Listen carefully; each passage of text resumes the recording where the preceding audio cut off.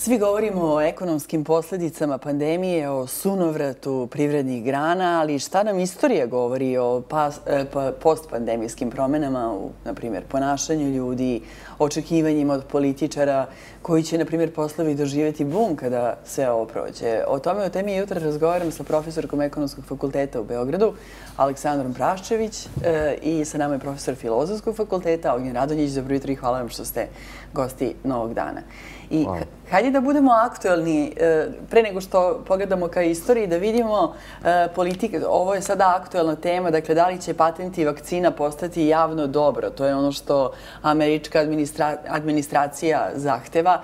Dakle, da e, Amerika je podržala ideju o odricanju od patenta kako bi cepiva što prestigla do siromašnih. Nemačka se protivi. Kako vi to gledate? Dakle, imamo tu jednu stran solidarnost, plemenitost, da svi budu vakcinisani, da ne čekamo tri godine, da do toga dođe.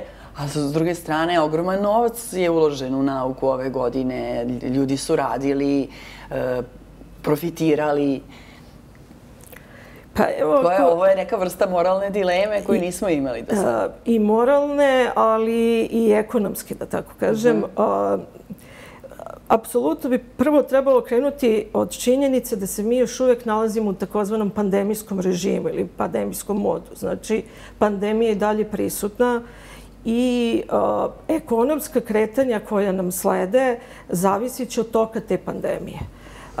Ja ovu najavu, odnosno zahtev američke administracije, na njega gledam kao na njihov pokušaj da se vakcine e, učine dostupnim i e, siromašnim zemljama i da se na taj način prevaziđu problemi e, ekonomski koji, iako u ovom prvom trenutku nije izgledalo da će E, u toj meri pogoditi siromašne zemlje, odnosno stope rasta su više padale bogatih zemalja, e, ali u jednom srednjem roku ili dugom roku e, očekuje se da će na njih efekti ove pandemije biti još veći.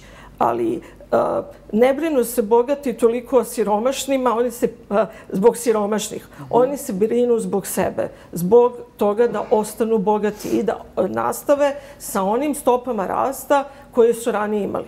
Ako gledate na pandemiju, ovu pandemiju kao na jedan šok, evo da približim to gledalcima, to je da, da, da možda bolje to i lakše razumeju. Dakle, ekonomije se kreću određenim putanjima rasta. Desi se šok i bivate izbačeni sa te putanje.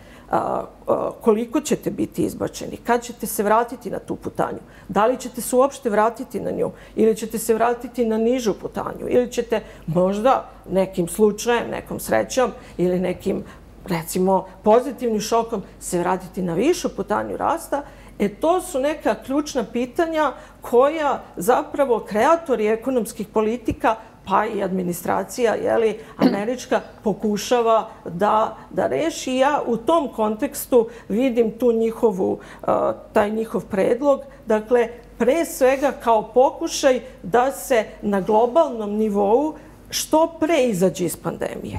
Jer mi sada, da bi, da bi bogati jeste, ostali bogati. Jer mi sada govorimo zapravo o, apsolutno o e, početku ekonomskog oporavka, ali se govori o ekonomskom oporavku u više brzina.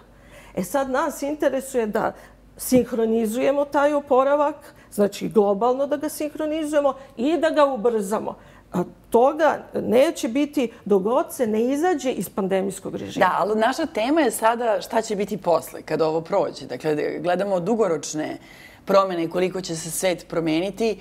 I sad, e, da li, da li na primjer, vaše kolege, a inspirisana sam tekstom u uh, The Economistu, da li vaše kolege, na primjer, danas gledaju u prošlost kako bi predvidele buduće trendove?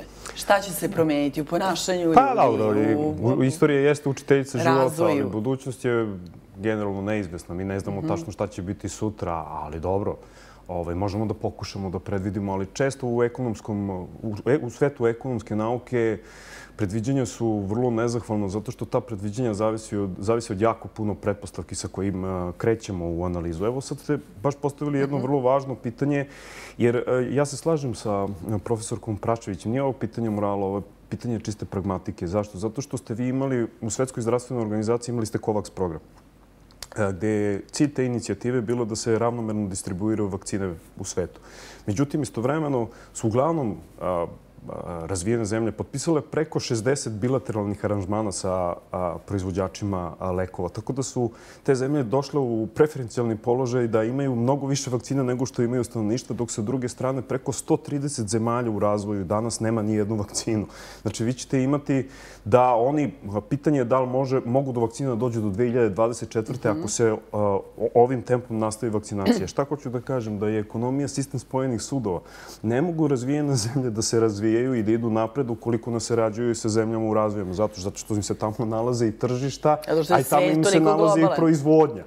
Mislim, prosto, zauzdavanje pandemije i, i da kažem, vakcinacija, ono, sticanje tog imuniteta krda, ali meni se čini što mi više idemo ka tom imunitetu krda, više idemo ka mentalitetu krda. Ovaj, je uslov da bi mogli da se vratimo na neke putanje rasta. Jer vi sad, imate da je Svetska banka a procenila da je u 2020. proizvodnja, svetska proizvodnja pala za 4,3%, a da će da pod pretpostavkom uspešnog zauzdavanja zaraze i ubrzane distribucije vakcina da će stopa rasta u 2021. biti 4%. Dakle, najverovatnije i sa tim optimističkim predviđanjem nećemo se e, vratiti na predpandemijski nivo. Ali u ovom tekstu se kaže da će bogate zemlje se mnogo brže e, razvijeti. Stopa rasta za Ameriku se predviđa u ekonomistu 6%, što je za 4% više nego pre e, epidemije. Svetska banka za Ameriku predviđa 3,5%, a pala je u 2020. 3,6%. Za Evropsku za eurozonu predviđa isto tako 3,6%, a pala je 7,5%. Za Japan predviđa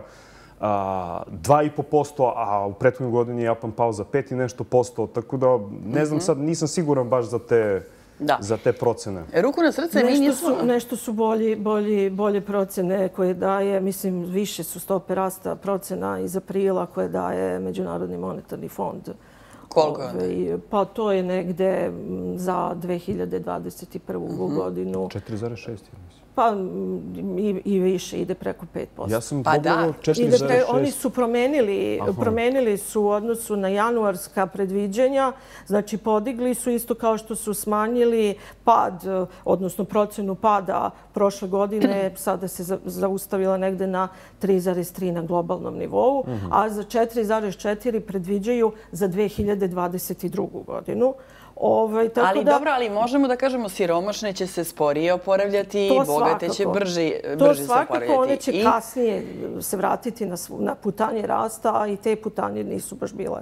da, i da li onda možemo da napravimo tu paralelu dakle, sa uh, epidemijom kolere, dakle, gde su i u Engleskoj i u Francuskoj stigla industrijska revolucija, ali i ona druga revolucija siromašnih e, koji su najviše pretrpeli. E, posljedice epidemije. Dakle, da li ovakva vremena kad se završe donose društvene revolucije? E, ja se donekle slažem sa kolegom Radonjićima, donekle i ne. Znači, možda zato što ovaj, vi predajem predmet ekonomske istorije. E, tako da ovaj, mislim da nas neke, neke situacije u prošlosti uče dosta toga. Sad, naravno, e, teško da možemo da procenimo u brojku koliko će to biti rast e, ili promjena u stopi produktivnosti i tako dalje. Ali neke generalne promjene u tokovima možemo da vidimo. E, problem je u tome što je savremeni čovek zapravo zaboravio na te neke medicinske faktore koji mogu tako dramatično da mu promene život ne pojedinca, razboli se pojedinac pa jeli, pati ima probleme, nego generalno e, čitavog stanovništva na čitavoj e, zemljenoj kugli. E, dakle, posljednja tako jaka pandemija bila je pandemija španskog, španskog gripa, španske groznice. Mm -hmm. jeli, u 20. veku ove pandemije koje su se dešavale skorije, pre svega mislim na pandemiju 2009. godine, to je bila pandemija svinskog gripa, ona nije bila tako jaka. Ona je i u tim pokazateljima oštrine pandemije bila jedan. Na primjer, ta e, e, ovaj, španska gripa je bila pet. E, e, I u tom smislu nije imala tako jak uticaj. Međutim, ovo što vi pominjete, ne znam, e, uticaj pandemije, ne znam, epidemije kolere u Francuskoj, zarazne bolesti su harale sve dotle dok savremena medicina nije dala odgovarajuće, odgovarajuće neke, neka rešenja, pre svega kroz vakcinaciju, je tako? I one su i tekako utičale na živote ljudi, na društveni život, na organizaciju urbanizaciju, pa čak na izgradnju gradova. Recimo, e, ne znam koliko se zna da su, na primjer, e, gradovi na sredozemlju ponekada građeni i sa idejom da e, urbanistički obezbeđuju protok vazduka sa kopne na more, jer je bila neka ideja da je li zbog tih čestih epidemija kuge, koja je baš sredozemlje pogađala jer zbog trgovačkih puteva, je li ovaj, e, da je to neki način da se te epidemije smanje i tako dalje. Dakle, epidemije jesu uticale na društveni život.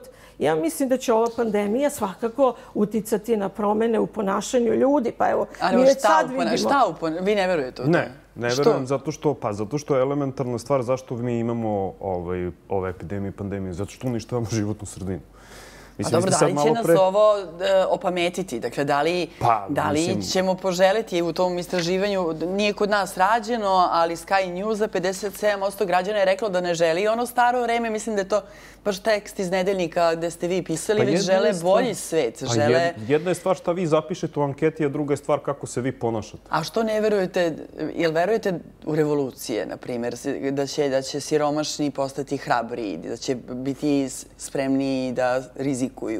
Pa ne deluje mi to tako. Meni sad ovo što sada vidim, ništa mi to tako ne deluje. Mislim, mm -hmm. prosto jeste, vi ste u pravu. Znači, to što je do, e, generalno smo i mi živjeli u jednom svetu koje karakterišu velike, velike nejednakosti. Vi ste i pre pandemije imali da, da se je celokupno svetsko, ve, ogromna većina svetskog bogatstva koncentrisana u rukama 2000 milijardera. A da je 56% stanovništva zemljene kugle živjelo sa između 2 i 10 dolara dnevno.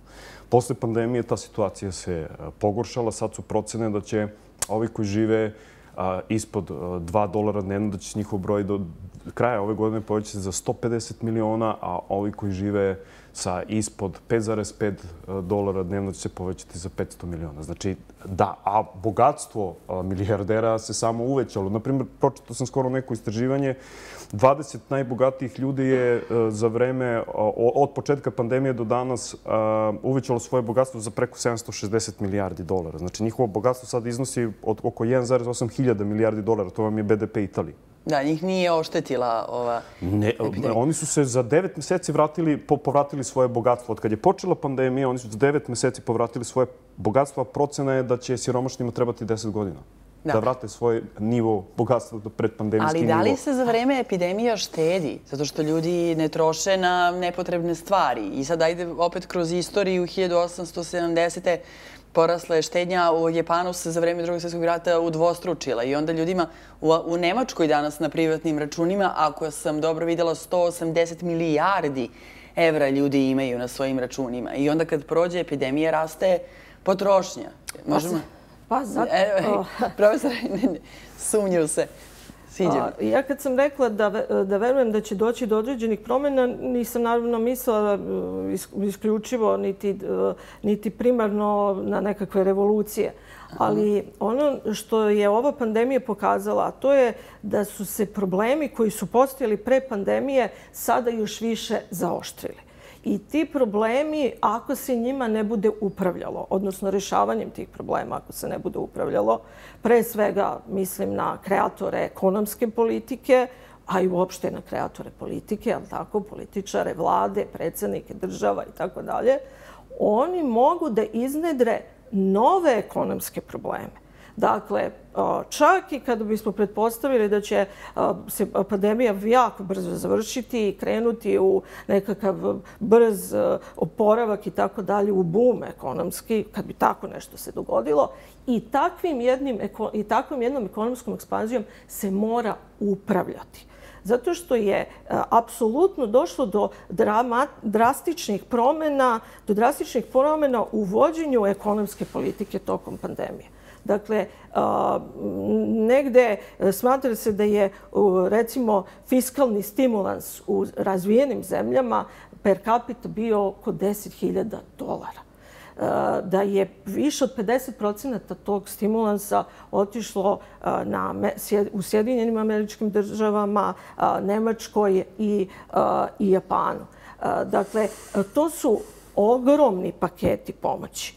Oni pumpaju ekonomiju a, Da, bilo bi lepo da te ekonomije krenu, da se završi sa pandemijom, da se vratimo ranijem životu. Znači, bit će neophodno da se sada u narednom periodu upravlja čak i ekonomskim, čak i tim ekonomskim poletom. Jer ne bi bio prvi slučaj u ekonomskoj istoriji da je e, e, jedna, na primjer, veštački izazvana ekonomska ekspanzija na kraju završila e, pravljenjem balona, pucanjem balona pa i nekom budućom recesijom. Da se nadovežem, ja u stvari ja pre mislim da će doći do finansijske krize nego da će doći do nekog poleta zato što vi sad imate profesorka u pravu де отприлике, ја мислим, да е фискални стимул со развиеним земјама бил отприлике на ниво 22% БДП-а, а да е земјама у развеју на средни ниво доходка бил 6,2%, со ниски ниво доходка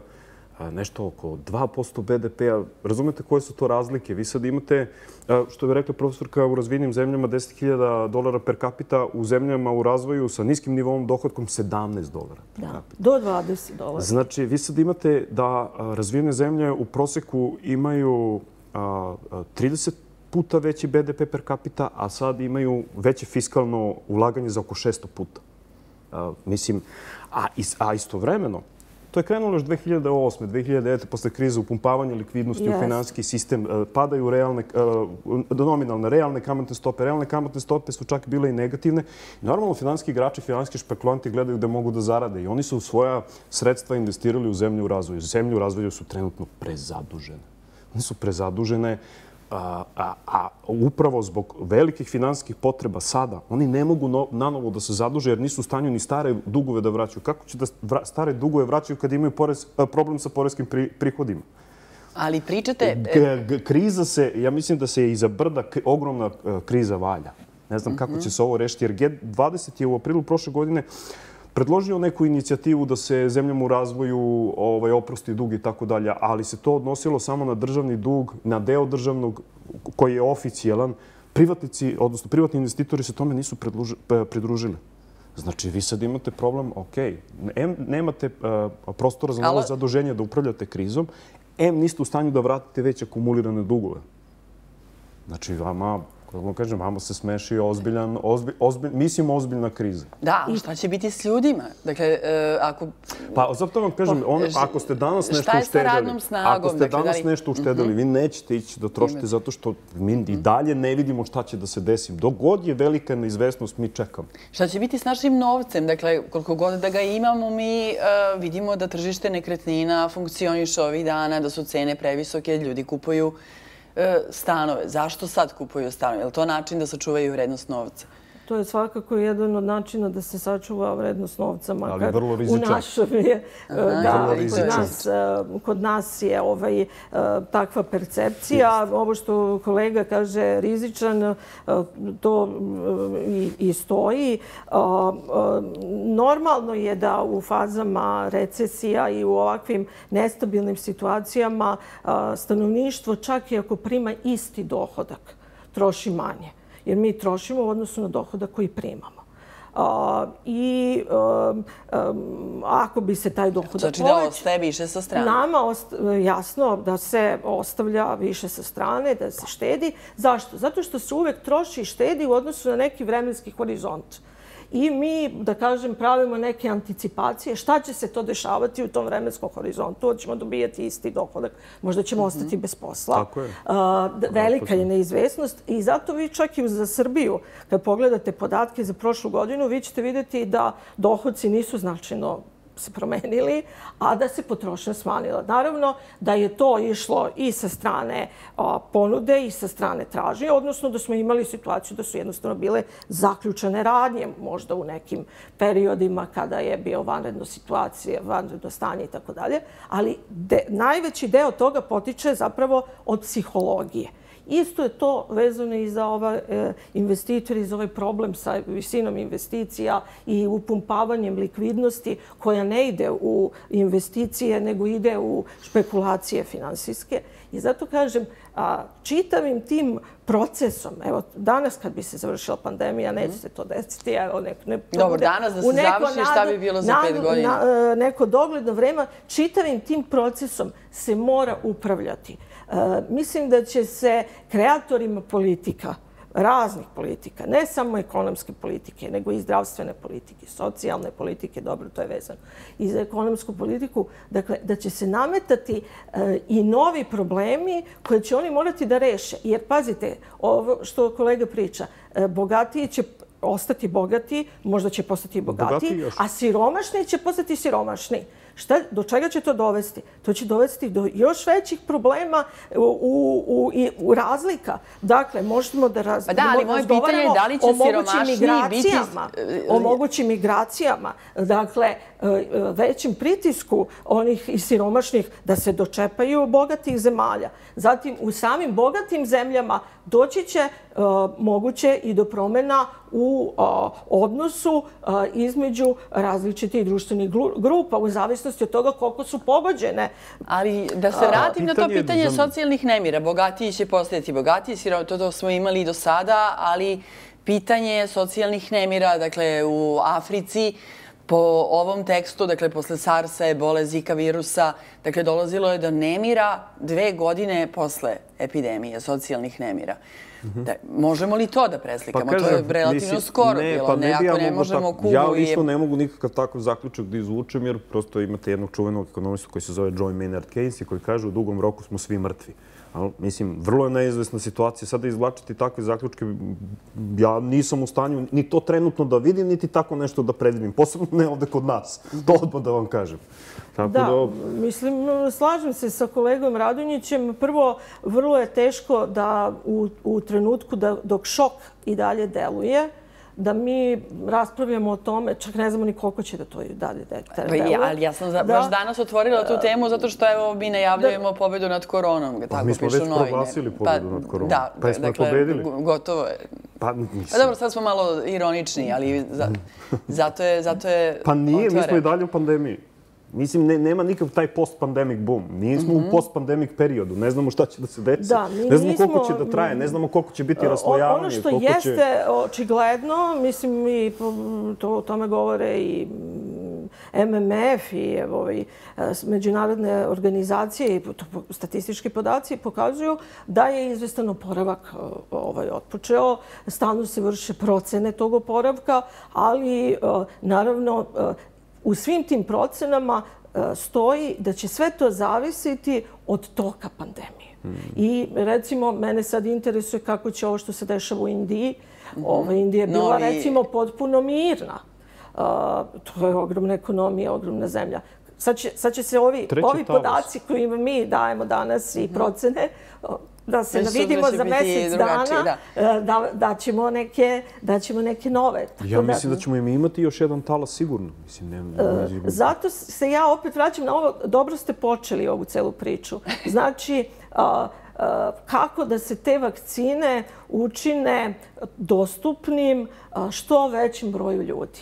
Mm -hmm. I Ali bilo bi to, kad se već kad ste se već vratili na tu temu, bilo bi zgodno recimo ovaj, ne samo da se skinu onda patenti, nego onda bi trebalo da se ubrza ili da se odobri upotreba i vakcina koje su proizvedene u Kubi. Mislim, ako ćemo o nekim eh, moralnim načelima, mm -hmm. humanim motivima. Svim.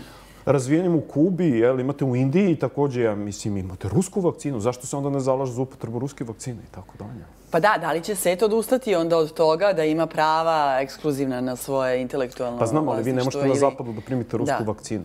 A oni, pa... a oni to rade zbog ovaj, toga što će da ubrzaju vakcinaciju. Pa ako će da ubrzaju vakcinaciju, taj put da se skine ta patentna zaštita je vrlo trnovit, dug i to je, ja bih pre svega, re, mislim da je to neka samo opipavanje. Mislim Ali evo toga... ono što imamo sada, to su malte ne istorijski visoke vrednosti sirovina nekih. Čini mi se, bakar je na istorijskom e, maksimumu, e, čelik, gvožđe, pa, nama, pa ulje metali koliko košta. Metali su počeli, metali dakle, zašto, su počeli da, a zašto, da rastu. Zašto to? Pa zbog oporavka. To proizvodnju u Kini pre svega. To, to je potpuno jasno. Oporavak je, Ali nafta je očigledan. Nafta? Da, pa zbog transporta. Nafta Dve trećine nafte se koristi za transport. I vi, pošto vam je transport, saobraćaj je potpuno onako devastiran, onda nafta i dalje ali se, su neke procene da će ove godine ona, ona porasti, da će prorasti cene nafte. E, ne zna se šta će biti sa, sa cenom poljoprivrednih proizvoda. To je nešto što će možda vršiti pa pritisak što će možda vršiti pritisak i sa te strane, e, da kažem, troškova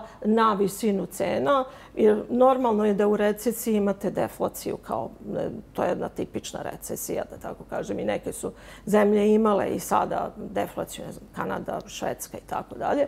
Ali zbog tako velikog stimulisanja privrede, a dramatično je stimulisanje privrede, evo sad smo prišli, u razvijenim zemljama naročito, znači to stvara izvesne onako u podsvesti neka pitanja, aha, šta će se dešavati sa inflacijom ako bi se krenulo u neki jači oporavak. Ali to se dakle, opet... da zaključimo, vi ne vidite ovdje nikakav bum. Ne vidim da je inflacija problem sa trenutno. Nikakav bum, jer još uvijek ne vidimo ni kraj, ali ja znam za još jedan bum koji se desio posle drugog svjetskog rata, vidite li barem baby boom? E, to ćete morati neke druge da pitate. ja Znate kako, ove, ovakve, ovakve pandemije, da. pandemije se, Negativno inače, što se tiče ekonomije, smatraju takozvanim negativnim demografskim hmm. šokom i to je fundamentalni šok. Da, znači, to je fundamentalni. Ja kad kažem fundamentalni, to znači da će on imati uticaj u dugom roku. Hmm. Dakle, smrtni ishodi zbog korone, smrtni ishodi zbog drugih bolesti koji nisu, koji nisu otkriveni ili te bolesti nisu jednostavno lečene, ni, ni, ni, ni bilo kapaciteta. I naravno tome treba pridružiti s obzirom na jeli, e, e, ovaj, sam karakter virusa i socijalno distanciranje i tako dalje. Treba pridružiti ovo o čemu ste vi govorili, pad nataliteta, smanjeni broj neizvestnost, siromaštvo, sve će to destimulisati bilo, mislim, prirodno Dobro, ako bi neki ako bi se takve promene dogodile koje bi na stanovništvo uticale pozitivno u smislu anticipacije nekog boljeg vremena, apsolutno bismo mogli i tako nešto da očekujemo, ali mi smo trenutno daleko od daleko Ali niste ne dali ni dobro poređenje, dali ste posle drugog svetskog rata, ipak je to bilo razaranje svetskih razmera koje ne može da se poredi sa ovom pandemijom.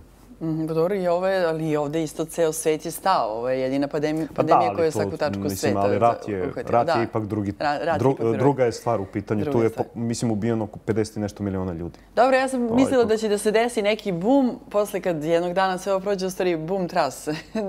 to će da bude na kraju. Hvala vam mnogo što ste bili e, gosti e, novog dana i žao mi što nismo imali neke optimističnije prognoze, ali tako je kako je. Pa dosta je optimistično ovo bilo, verujte. Samo nek prođe za sada.